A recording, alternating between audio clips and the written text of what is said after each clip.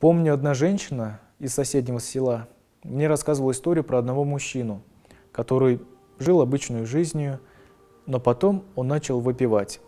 Сначала вроде так безобидно, перед ужином там рюмочку выпить, потом еще вторую. И со временем все привело к тому, что он начал уже так конкретно злоупотреблять, уже по-серьезному. А в деревне же все знают друг друга, и, видимо, нашлись люди добрые, которые видят, что мужик-то нормальный, просто вот злоупотребляет сильно, и это его губит. И они ему посоветовали съездить, по-моему, в Раивский монастырь, к грузинской иконе Божьей Матери.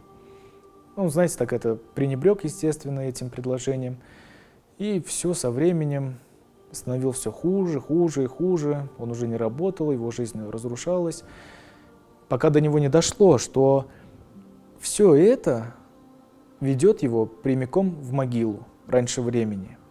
И он, слава Богу, собрался и поехал в этот монастырь, нашел икону Божьей Матери, приложился. И после того, как он приехал домой, он поспешил наполнить рюмочку, выпил, и его стало рвать. Он подумал, что это может на голодный желудок, он выпил, поэтому его рвет. Он достал какой-то еды, перекусил, снова наполняет, выпил, и его снова начинает рвать.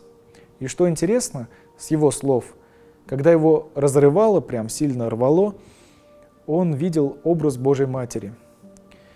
И снова выпивал, рвало, выпивал, рвало. И все это отбило у него напрочь все желание пить. Напрочь. И, слава Богу, все со временем у него стало в жизни налаживаться. И надеемся, что он обрел твердую веру в силу всемогущего Бога.